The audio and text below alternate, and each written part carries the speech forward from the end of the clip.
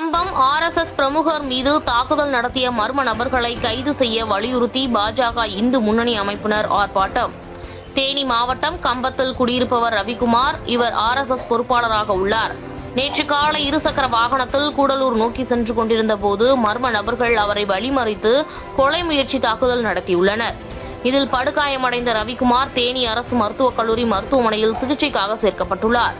இந்நிலையில் ரவிக்குமார் மீது கொலைவெறி தாக்குதல் நடத்திய மர்ம நபர்களை கைது செய்ய வலியுறுத்தி தேனி அரசு மருத்துவக் கல்லூரி மருத்துவமனை முன்பு பாரதிய ஜனதா கட்சி மாவட்ட தலைவர் பாண்டியன் இந்து முன்னணி மாவட்ட பொதுச் செயலாளர் முருகன்ஜி தலைமையில் இந்து முன்னணி மாவட்ட செயலாளர்கள் எஸ்பிஎம் செல்வம் உமையராஜன் ஆகியோர் முன்னிலையில் அமைப்பினர் ஆர்ப்பாட்டத்தில் ஈடுபட்டனர்.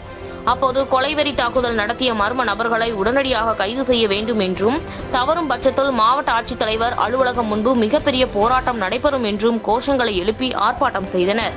இந்த ஆர்ப்பாட்டத்தில் ஆர்எஸ்எஸ் மாவட்ட செயலாளர் மூவேந்திரன் துணைச் செயலாளர் முருகேசன் மாநில பொறுப்பாளர் வக்கீல் கணேசன் பாஜக நிர்வாகிகள் வழக்கறிஞர்கள் குமார் வேல்முருகன் இந்து முன்னணி மாவட்ட செயற்குழு மொக்கராஜ் மாவட்ட செயலாளர் கார்த்திக் மற்றும் எச்ஒய்எஃப் மாணவ அமைப்பு நிர்வாகிகள் கலந்து கொண்டனர்.